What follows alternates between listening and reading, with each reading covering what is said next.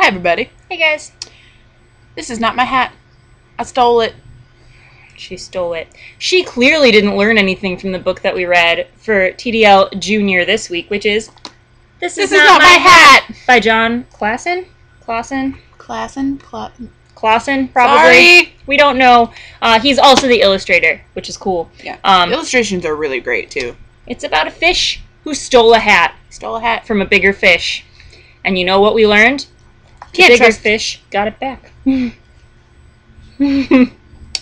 Well, I'm glad that you didn't probably eat me. no, I did not probably eat you. I'm not very hungry. Oh, okay. Yeah, cool. Yeah. Cool, cool. But uh, we did learn not to trust a crab nope. because he will tell a bigger bitches. fish where you're going when you steal their hat. Even if he promises that he's not going to say anything Mhm. about where you're going, It's true. you're going to lie. And uh, we learned not to steal a hat.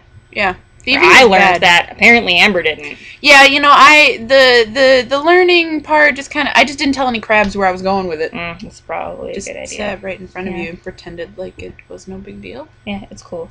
Um, seriously though, this book is adorable. It's so cute. Mhm. Ah, out of frame. um, I'm so good at that. Yay! But yeah, uh, Amber told me about this book. It's so cute. we were at the bookstore and I we were buying more books because we do that a lot, and and we need more books. all the time. And it was like behind the register, and I was I asked the, I asked her I was like, "Have you read this book yet?" And And she was like, no. So I was like, know? "Excuse me, sir."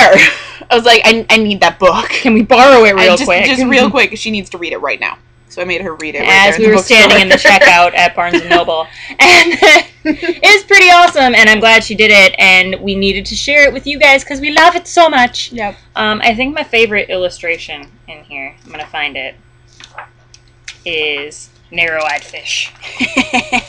This guy. He uh, discovered that his hat was missing, and he knows who took it. I really like the crab. Oh, God, the crab. I love the crab. He's a little bitch, but I love him. He's adorable. the one where he's pointing.